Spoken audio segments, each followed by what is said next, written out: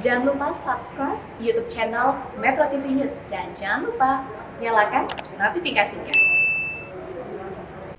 Merespon sikap Indonesia, Menteri Dalam Negeri Malaysia menyebut mereka tidak takut jika Indonesia menyetop tenaga kerja ke Malaysia. Menurutnya masih banyak negara penyuplai tenaga kerja asing. Menteri Dalam Negeri Malaysia Hamzah Zainuddin menyebut tidak akan terpengaruh dengan keputusan Indonesia.